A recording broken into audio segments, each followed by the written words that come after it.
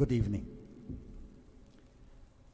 According to Carl Sagan, we are rare and unique creatures, human beings. In the whole universe, at least until now, there's only us. Very small planet in the vastness of the universe. And there are beings there who are self-aware. We know who we are. May self-identity tayo. May damdamin tayo na nasasaktan, loob, sama ng loob, utang na loob, tibay ng loob. Meron tayong isip. Kagagawa tayo ng mga spaceship going to asteroids. Napapalanding natin. Pupunta na tayong Mars. Gumagawa tayo ng mga kathang isip. We make poems and symphonies.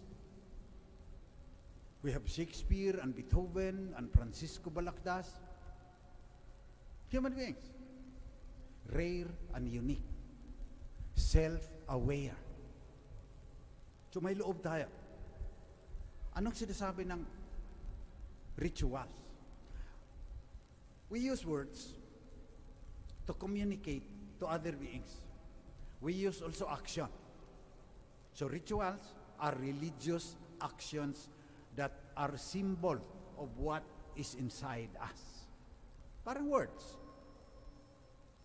Sabihin mong, mahal kita, sa loob mo, hindi naman gusto mo lang gagamitin siya para sa sarili mong kapakanan, basag-basag ka na. Sira ang kalooban mo. So rituals din.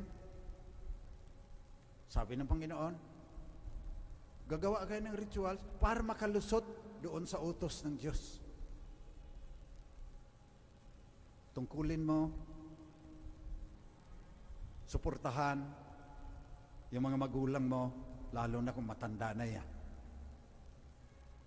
Pero sabi ng mga parisis, ay hindi kita matulungan tayo na dahil ito kurban kasi sa naka ah, talaga sa templo ito eh. It's dedicated to God. So bahala na muna kayo sa buhay niyo diyan. Utos yung honor your father and your mother.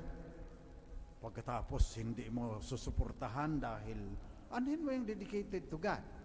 Baka gaginamitin mo rin para sa sarili mo. So, it questions our very humanity, our self-identity, if we say words that we do not mean. That will give a wrong impression to others. Lagi ka sa simbahan, nagre-ritual ka dyan, nobena, rosary. Tapos tatadyakan mo yung kasambahay mo pag uwi mo sa bahay. Ayun yung sinasabi ng Panginoon. As a society, we should also ask. Yung devotions natin, our rituals, the commandment of God is love your brothers and your sisters like yourself, your neighbor. But it is very unjust society, our society, concentrating wealth in the hands of very few people and no longer giving opportunities to millions of the poor. That's against the will of God. Pero ang galing natin, nangunguna pa yung mga gahaman. Pag may Santo Papa, ah, sila ang andun. Pag ah, Santo Niño, sila ang andun. Sila nagbibigay ng mga damit sa Santo Niño na daan-daang libo. E milyon-milyon naman ang kanilang ninanaka. These people honors me with their lips, but their hearts are far from me.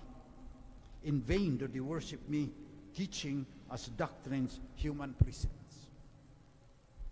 So ipagpalagay na lang natin na ikaw hindi ka naman nagre-ritual ng MT, nagpakabait ka naman, ang alalahanin mo, may tungkulin ka bilang kasapi ng lipunan, kasapi ng sambayanan, na yung utos ng Diyos, sundin din natin bilang sambayanan as a community.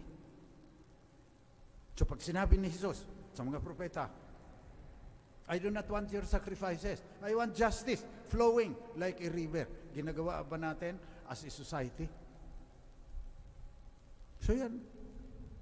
Pag pumili tayo ng mga leader natin, titignan natin. Sino ba yung hindi basag-basag ang kalooban? Sino ba yung kumikilala na kailangan gamitin ang resources ng gobyerno para sa mga mahirap? Baka galing-galing mo lang magsalita. Nagsimulaan na yung campaign period. Lagi na lang. Pinapangakuan tayo. Wala namang pagbabago.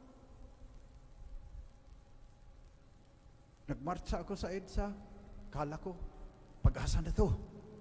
Maganda na ang kinubukasan ng Pilipinas. Wala pa rin nangyari. Kasi hindi natin kinikilala yung utos sa atin ng Diyos na bilang lipunan, bilang sambayanan, isang bayan na sundin din ang utos ng Diyos. Huwag kang masyadong individualistic sa devotions mo. Okay lang naman ako, nagsisimba ako araw-araw. Alalahanin ninyo ang tungkulin ninyo sa lipunan. So first,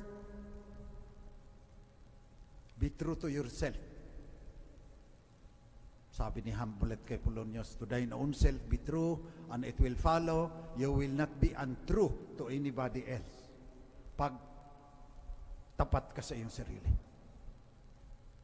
Yun ang sinasabi ko bilang tungkulin natin, sinasabi sa Ebanghelyo.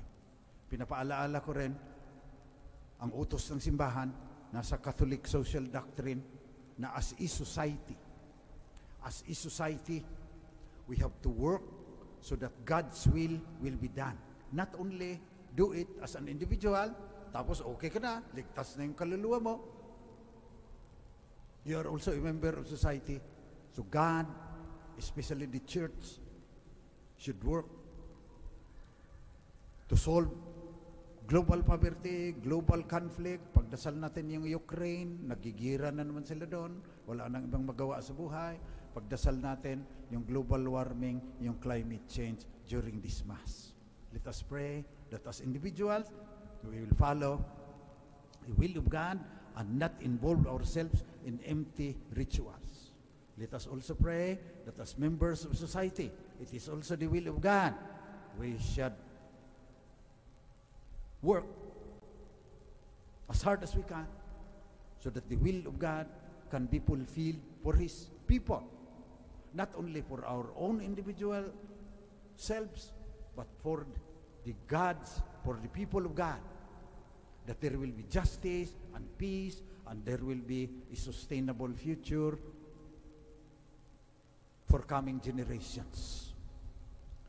Sana hindi tayo masabihan.